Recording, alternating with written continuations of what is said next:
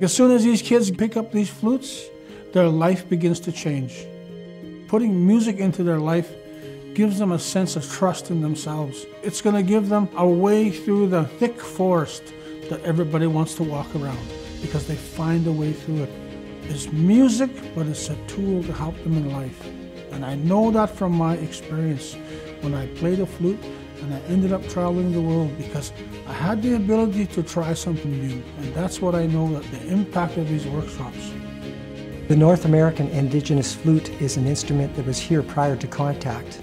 And it's something that I feel in my heart needs to be acknowledged. If we don't do that, we're ignoring what the reality was, doing a disservice to our indigenous people.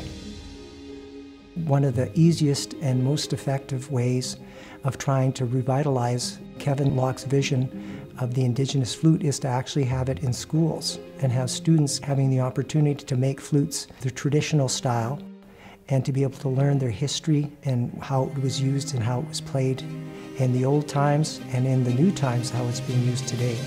They build them, they play them, and being a flute maker and a player myself, I know that process and I know it always turns out good. And it's something that will last the students not just their school life, but it's something that they will be able to carry with them for years and years to come.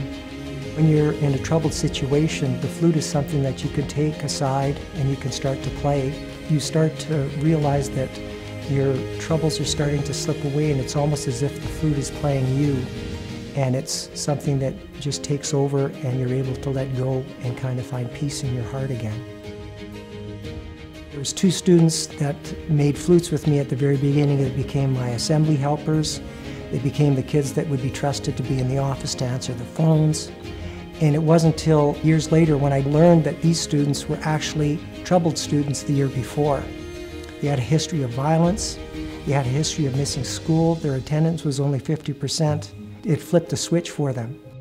All of a sudden, they found some joy and pride and goodness in themselves, and that was just radiated out from everything that they did. And later on, when I ran into their auntie who took care of them, she said that they would actually even be invited to play songs for weddings and different celebrations on their flutes. So that's the kind of impact the flute can have on kids.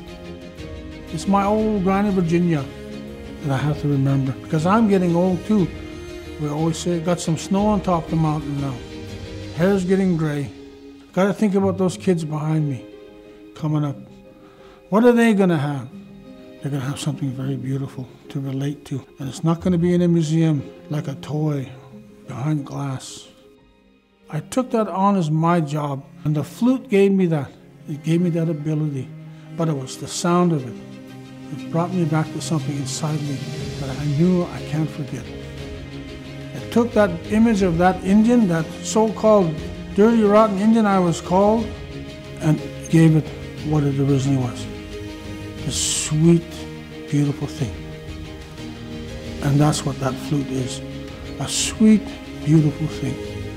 And we're sharing that. And it's from us. It's a unique sound from us.